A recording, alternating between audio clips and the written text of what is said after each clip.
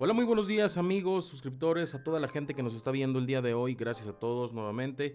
Eh, si es la primera vez que estás en mi canal, suscríbete, activa la campanita y sígueme en todas las redes. Tenemos el canal oficial de No Se de Cel. Ese es nuestro primer canal, nuestro canal eh, base. Y puedes ir también a suscribirte. Recuerda que viene el sorteo de diciembre, 45 mil suscriptores para hacer un sorteo de varias, de varios objetos, celulares, gadgets y debes estar suscrito al canal de blogs y al canal de No sé de así como seguirme en todas las redes. Señores, vamos a hablar el día de hoy de una noticia bastante, bastante importante que creo que es muy importante que le demos difusión. Se trata sobre qué pasa si mi teléfono fue bloqueado. Eh, como todos sabemos, el mes pasado empezó Samsung se unió a la, a la, funa masiva de teléfonos comprados en el mercado no gris, porque no es un mercado ilegal, sino a los teléfonos comprados en el mercado eh, libre, ¿no? Eh, vamos a llamarlo así, porque realmente, pues sí, es, es, libre comercio. Eh, si tú compras en, un, en, el libre comercio un dispositivo, bueno, pues marcas como ZTE, Motorola y Samsung estaban empezando a bloquear tus dispositivos. ¿Por qué? Porque esto obviamente les pega en la bolsa y hasta que se escucha el rugido de tripas, pinches hambreadas las marcas. Eh, y sin duda alguna, pues empezaron a hacer bloqueos masivos de estos celulares.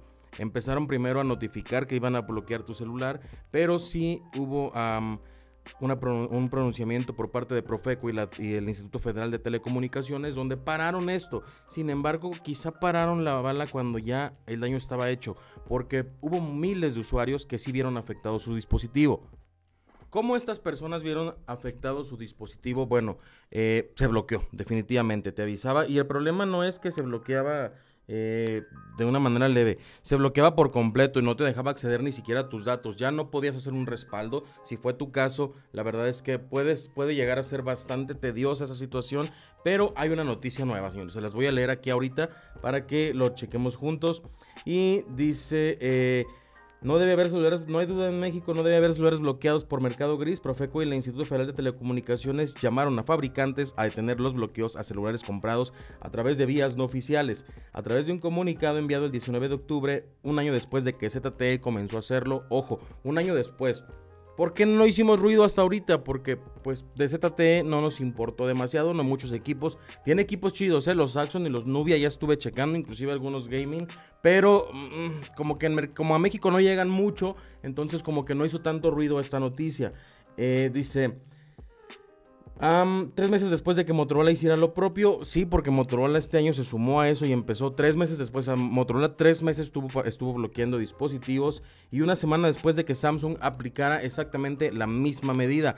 Eh, pues sí, esto fue lo que detonó la bomba. El hecho de que Samsung se uniera y Samsung empezara a hacer estos bloqueos fue lo que detonó la bomba y hizo que toda la gente, todos los comunicadores, todos los canales de tecnología empezaran a hablar de dicho suceso.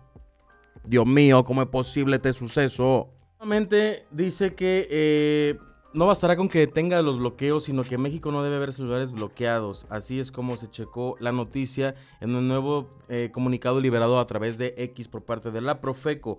Se lee que los usuarios de equipos bloqueados pueden interponer una denuncia. Ojo, esto es lo importante. Si tú fuiste afectado, esta es la parte interesante para ti.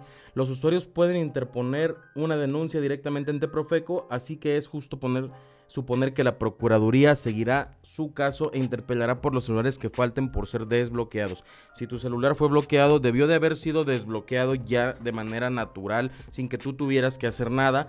Pero si no lo fue, si se están haciendo tontas las marcas y están así como de, ay, pues sí, ya no bloqueo, pero se me olvidó que bloqueé. No, señores, no funciona de esa manera. Van a hacer lo que digan los usuarios, cabrones. Entonces, eh, sencillo, ¿qué hacer si me bloquearon mi teléfono?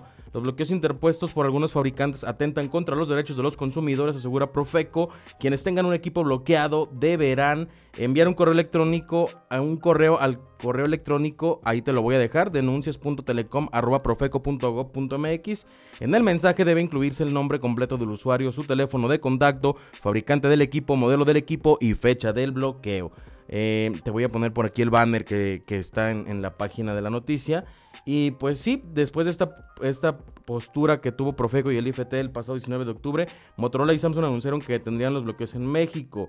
Eh, ZTE por su parte no ha tenido postura oficial sobre qué pasará con sus bloqueos. ¡Ah, qué cabrones!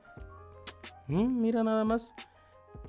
ZTE qué cabrones, ¿cómo es posible que no, que no se pronuncien? O sea, no, no entiendo, deberían de haberse pronunciado igual. O sea, les vale madre lo que dice la autoridad mexicana, pues ahí lo tienen. Usuarios, los usuarios son, somos los que tenemos al final que castigar a las marcas. Eh, yo les aseguro que si castigan a las marcas, dejan de comprar, van a castigarlos. Eh, Oppo tuvo planes iniciales para bloquear teléfonos, pero luego de la postura aseguró no haber tomado decisión definitiva. Era. Así se le hizo a Oppo y a otras marcas, porque también estaba el rumor de que Xiaomi iba a hacer lo propio y al final también dijo, no, no, yo no, yo no, ¿cómo creen? Pero la neta, todos los que nos dedicamos a la tecnología y sabemos eh, de noticias, sabemos que Xiaomi ya lo estaba eh, eh, haciendo. De hecho, aquí dice la noticia, Xiaomi comenzó a enviar notificaciones masivas para comunicar sobre el mercado gris, cosa que me parece bien mamona porque Xiaomi nació del mercado gris, al menos en México, pero de manera oficial nunca hubo bloqueos de sus teléfonos. Cuando Profeco y la IFT anunciaron que no debería haber más bloqueos en México, llamaron a fabricantes a implementar mesas de diálogos para identificar medidas, implementar acciones para hacer frente a los retos que plantea el mercado gris.